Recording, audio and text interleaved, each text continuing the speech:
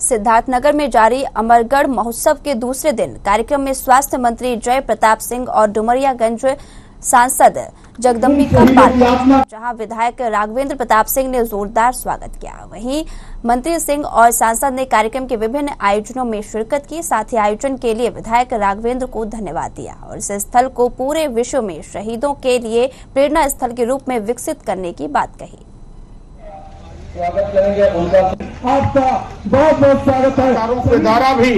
मान्य माननीय विधायक राघवेंद्र सिंह द्वारा इसका कैलिफ़ोर्निया से और अंग्रेज़ों के गेजेटियर के माध्यम से आपने सूचना निकाला, आपको पता चला, आपने सूचना निकाला। सूचना निकालने के बाद इस पूरे ज़मीन को विकसित किया, इसको एक महोत्सव का रूप दिया, इसको एक शहीदों का एक नमन करने के लिए एक बहुत बड़ा कार्यक्रम आपने किया।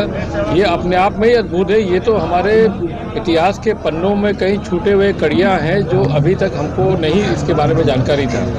और जिस तरह से फिर से अमरगढ़ के उन शहीदों का एक गजेटियर से इतिहास निकला है हम इस स्थान को एक विश्व में एक ऐसी शहादत की प्रेरणा स्थली बनाएँगे कि जो भारत की भविष्य की पीढ़ियाँ केवल सिद्धार्थनगर उत्तर प्रदेश के लिए नहीं, देश की भविष्य की पीढ़ियाँ अनुप्राणित होगी, प्रेरणा लेगी कि भारत में कभी भी चाहे वो कोई ब्रिटानिया हुकूमत हो, चाहे कोई विदेशी आक्रमणता हो, कि भारत की आज़ादी पे कभी आँच ना आने पाए।